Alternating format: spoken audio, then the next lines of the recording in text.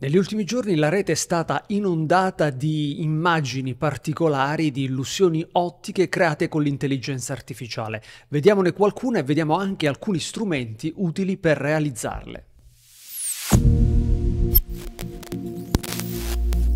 In questi giorni in rete è un fiorire di immagini che creano un'illusione ottica all'interno delle quali si nascondono delle parole, per esempio, dei pattern particolari.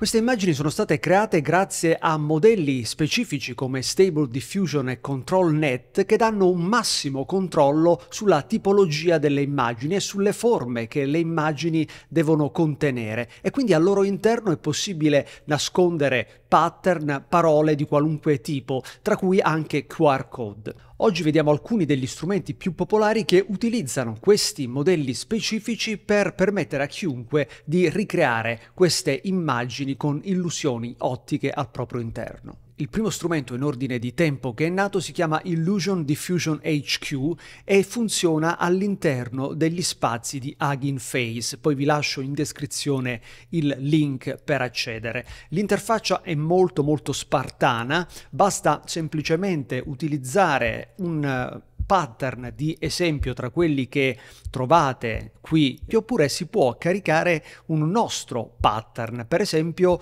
un pattern eh, fatto con una nostra eh, immagine, eh, anche molto semplice come quella eh, che ho creato io. Dopo averla caricata si possono andare a selezionare alcuni dei valori eh, nelle impostazioni. Il selettore più importante è quello che controlla la forza dell'illusione che si vuole andare a realizzare utilizzare. Solitamente conviene tenerla intorno a un valore di 1, poi dipende molto dall'immagine che abbiamo realizzato dal nostro prompt che adesso andremo a vedere. In questo caso la metto su eh, 0,71 e poi eh, bisogna scrivere un prompt che sarà l'immagine sulla base della quale poi andremo a uh, sviluppare questa illusione, il pattern che abbiamo caricato. Per esempio posso scrivere eh, labyrinth se voglio realizzare un labirinto con all'interno l'immagine Vincos, il testo eh, Vincos. Posso inserire anche dei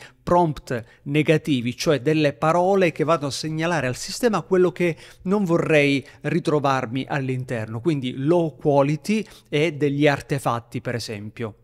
A questo punto basta premere il tasto Run e aspettare. Ecco il risultato con un labirinto tra le cui colonne si scorge il nome Vincos, insomma il risultato che lascia un po' a desiderare che andrebbe migliorato agendo tra i settaggi. Questa è un'altra immagine che ho creato eh, caricando il logo dell'azienda Plenitude accoppiato al prompt relativo a un prato verdeggiante. Come vedete l'illusione è ben riuscita, quindi questo tipo di attività può essere anche molto utile da accoppiare al logo di un'azienda. Il secondo tool che andiamo a vedere si chiama Patterns dell'azienda Crea ed è un tool molto semplice, c'è questa interfaccia molto spartana, qui si inserisce un prompt, si sceglie un pattern tra quelli eh, che sono predefiniti oppure si può caricare un proprio e si può anche utilizzare la funzione eh, testo per creare un pattern attraverso semplicemente l'input di un eh, testo. Facciamo subito una prova caricando un nostro pattern per esempio Vincos che abbiamo visto eh, prima, scegliendo un prompt che può essere Cityscape eh, Night Photography e a questo punto tra i settaggi si possono scegliere la forza del pattern importante per far sì che eh, lo strumento riesca a bilanciare tra immagine, quindi prompt eh, che dà vita all'immagine e pattern, qui solitamente si sceglie qualcosa intorno al valore dell'1, proviamo eh, con 0,95, eh, guidance scale invece è un valore che serve a eh, far capire al sistema quanto deve aderire al prompt eh, che noi abbiamo scritto, quindi un valore alto eh, ci produrrà un'immagine molto vicina al prompt che abbiamo scelto, poi c'è la possibilità di inserire anche dei prompt negativi, per esempio bad quality low resolution image with artifacts e anche il numero di steps che vogliamo che il sistema faccia. Ovviamente più step li facciamo fare più avremo un'immagine dettagliata. Per il momento fermiamoci a 30 e andiamo a generare la nostra immagine.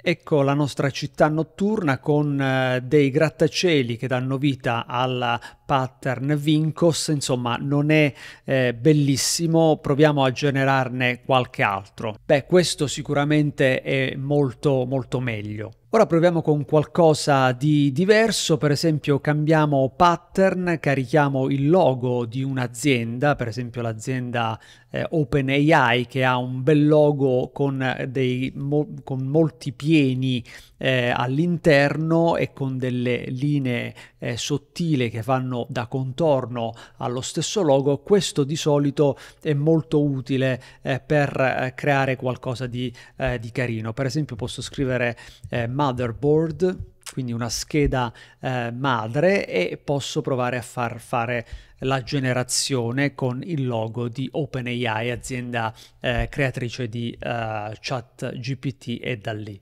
Ed ecco la nostra scheda madre con il logo di OpenAI eh, esecuzione perfettamente riuscita. Ho fatto anche degli altri tentativi, per esempio con un labirinto, lo vedete qui, anche questo abbastanza riuscito.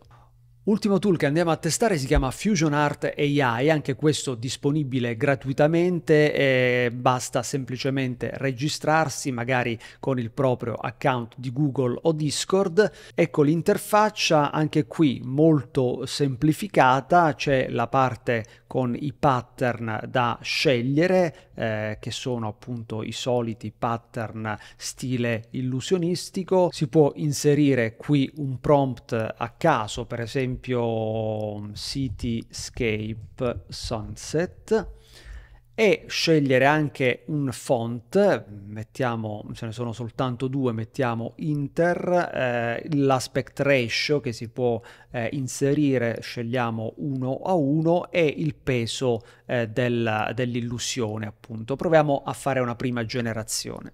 Ecco la prima immagine, vediamola meglio, effettivamente c'è questo effetto di illusione anche se è un po' troppo evidente, troppo marcato, però anche qui si potrebbe eh, lavorare eh, sui vari settaggi per andare a perfezionare il tutto. L'altra sezione è quella per l'aggiunta di un testo, quindi anziché un pattern si può eh, lavorare su un testo che noi scegliamo, eh, del quale si può appunto decidere anche eh, la grandezza e aggiungere sempre eh, il, il, il nostro prompt, quindi city Escape Sunset, uh, sempre ratio 1-1, eh, il weight in questo caso 2, proviamo a scendere a 1 eh, e poi andiamo a generare. Vediamo l'immagine, qui l'effetto dell'illusione è molto meno evidente, ma potremmo andare a giocare con i parametri per migliorarlo. Um, facciamo l'ultima uh, prova con la sezione upload dove qui appunto si può caricare uh, nostro, la nostra immagine uh, che si vuole. Anche qui proviamo con questa di OpenAI e proviamo a scrivere motherboard in modo da testare più o meno lo stesso, lo stesso prompt di prima. Generiamo Beh, eh, sì, c'è l'illusione del logo, anche se meno marcata. Si dovrebbe migliorare attraverso eh, il settaggio dei parametri nel modo più opportuno. C'è anche una sezione di community feed che ci fa vedere le realizzazioni fatte dalla community e infine questo software ci mette a disposizione anche la possibilità di generare un QR code funzionante all'interno delle nostre immagini eh, illusorie che, eh, che, che, possiamo, che possiamo creare come, come queste qui. Quindi eh, questo mi sembra un tool un po' più eh, strutturato rispetto agli altri, ma comunque tutti quanti sono eh, interessanti, vanno testati, eh, non è facile a primo acchitto individuare eh, qual è eh, l'opzione eh, giusta, il settaggio giusto, eh, però insomma col tempo si riesce a, a creare delle cose molto carine. Questo degli strumenti che servono a creare delle immagini con delle illusioni all'interno è un trend probabilmente passeggero dell'intelligenza artificiale generativa, ma comunque può essere utile, carino, interessante come divertissement da utilizzare all'interno di social media post, eh, per esempio, quindi eh, per cavalcare il trend, per creare qualcosa di affascinante che faccia, che attiri l'attenzione eh, dei lettori e degli utenti, che li faccia eh, fermare a scoprire, a scovare l'illusione contenuta nell'immagine. Se create delle illusioni particolarmente efficaci, linkatemele nei commenti, le vediamo insieme e ovviamente per altre novità sul tema dell'intelligenza artificiale generativa e del marketing vi eh, do l'appuntamento al prossimo video. Alla prossima!